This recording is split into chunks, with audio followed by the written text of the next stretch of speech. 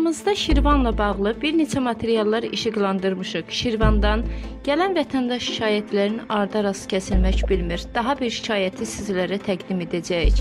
Mərkəzi Seçki Komissiyasının seçki saxtakarlığı ilə bağlı həyəcanlı qərarların hənirçisi 46 saylı Şirvan seçki dairəsinə də yaxınlaşmaqdadır. Artıq ilk Qaranquş 60 saylı Salyan Neftçilər dairəsində 11 məntəqənin nəticələrinin ləğvi sayıla bilər. Bu dairədə Fazil Ağmalı qalib elan olunmuşdu. Ola bilsin ki, 11 məntəqənin ləğvi həm də Neftçilər icra hakimiyyətindəki həbslər yapın bu rayon təşkilatının həbsinin davamıdır.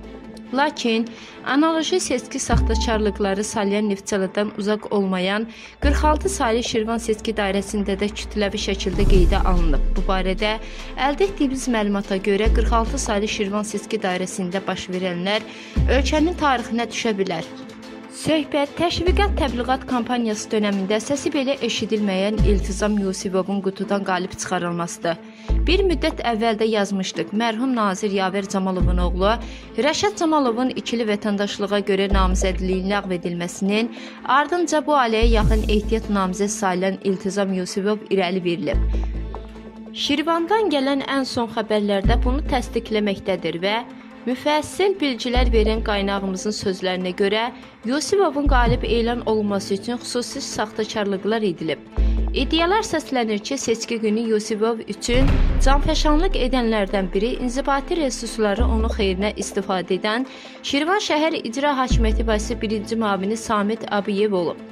Abiyev deputatlığa namizəd üçün kreslonun təşkilində müəllimlərin səfərbər olunmasında fəal nümayiş etdirib.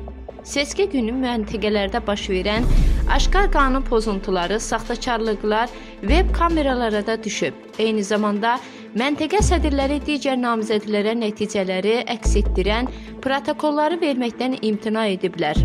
Abiyevin komandanlığı altında İltizam Yusifova mandat verilməsi üçün bütün güclər işə salınıb. Həmçinin icra başçı müavinləri olan Elmira Ağayeva, Azər Abdiyev və Məharət Mustafayev də seçki işlərində əməyi olduğu iddia edilir. Amma birinci müavin Samit Abiyev hamıdan fərqləndiyi deyilir. Məlumatlara görə Yusifov görüntü naminə təbliğat kampaniyası dövründə iki mərhələdə görüş keçirməyi cəhd etmişdi. Amma daşqalaq onlara qovulmuşdu. Seçkidən heç bir dəstəyi olmayan Yusifova Şirvanda kimlərin səs verməsi də təəccüblüdür. Bildirilir ki, yalnız inzibati resurslar hesabına 9 fevralda qalib çıxa bilib. Bu da öz növbəsində Mərkəzi Seçki Komissiyasının sözü gedən dairənin nəticələri ilə bağlı araşdırmalar aparmağa əsas verir. Şirvanda danışırlar ki, heç 500 səs ala bilməyən İltizam Yusifovun bu şəhəri Milli Məclisdə təmsil etməsi yalnız Camalovların arzusu ola bilər. Bəs nə baş verdi? Bu haqqda səhih informasiyalar daxil olmaqdadır. Verilən xəbərə görə başçı müavini Samid Abidiyev seçki günü son saatlarında məntəqə sədrlərinə telefonla nəticələri yollayıb. Niyə məhz seçkinin son saatları?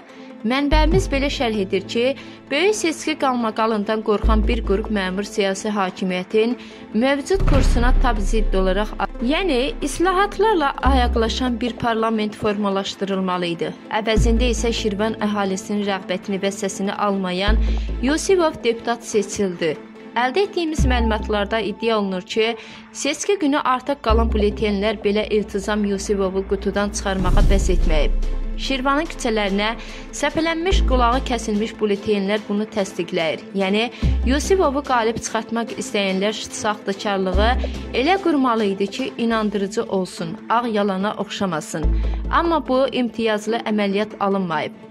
Samid Əbiyev komandası hər şeyi üzünə gözünə bulaşdırıb, tam bir firavska yaranıb və indiyə qədər onun altından çıxa bilmirlər. Hər an Mərkəzi Seçki Komissiyasının 46 saylı dairə ilə bağlı şikayətləri araşdırarkən sensasiyan qərar çıxarması mümkündür. Saytımıza verilən məlumata görə məntəqələrdə sayım vaxtı sədrlər ağla gəlməz fırıldağa yol verib. Müşahidəçilərin gözü qarşısında çox səs toplamış, digər namizədlərin bulletenlərini İltizam Yusifovun bulletenlərinin üzərinə yığmaqla onun səslərini artırıblar. Belə ki, Kustar və ibtidai saxtakarlığa əl atan Samid Abiyevə işləyən məntəqə sədrlərinin rüsvayçılığa adi bir araşdırma ilə təsbiq oluna bilər. Eyni zamanda müşahidəçilərin apardığı çəkilişlər video sübut olaraq qalır. Məntəqə sədrləri təkrar sayım tələbinə də riayət etməyiblər. Onlar biliblər ki, təkrar sayımda İltizam Yusifovun səsləri az çıxacaq və müşahidəçilərin tələbi yerinə yetirilməklə bütün saxtakarlıqlar üzə çıxacaq. Bu, təslifatı xəbərləri əldə etməmişdən bir neçə gün qabaqda yazmışdıq. 1963-cü il təvəllüdlü İltizam Yusifov Şirvan Operating Company şirkətində vitse-prezidentdir. Gələn xəbərlərdən belə aydın olurdu ki, bu seçkidə Şirvanların seçimi Yusifov olmayıb. Hələ seçkidən 3 gün qabaq Şirvanın Vasmay adlanan ərazisində o cümlədən bir neçə uçuq evlərin tinində görüş keçirmək istəyən Yusifovla seçkilər arasında qalmaqal yaşanmışdı. Lakin görüşlərdəki biabırçılıqlar video lentə alınmayıb, ört-basdır edilib. Hətta namizədə sən get Nöyt şefin gəlsin, ona səs verək deyə kinayə ediblər. Camalovla bağlı vəziyyət dəyişdiyindən Mərkəz Seçki Komissiyasının məlum qərarından sonra bir növ acığa düşən Camalovlar az qala seçki prosesinə meydan oxumağa, nə yolla olursa olsun, rayona nəzarət əldən verməməyə çalışır. Hətta rayon 10 saylı məktəbinin direktorun müəllimləri yığaraq Yusifova səs vermələrini tələb etdiyinə dair iddialar var.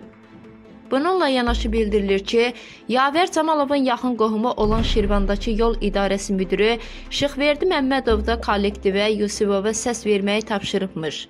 Bir sözlə, Camalovlar əllərindən gələni edərək Yusifovun qutudan çıxmasına nail olublar. Yusifovun özünə gəlincə, neft sektorunda vəzifə tutan bu şəxsin indiyə qədər əhaliyə hər hansı dəstəyinə, ictimai fəaliyyətinə və sair dair məlumatlara rast gəlinmir. Seçkilərin də çoxunun onunla bağlı ətraflı məlumata yaxud rayon üçün hansısa faydalı əməlinə dair məlumata malik olmadığı qeyd edilir.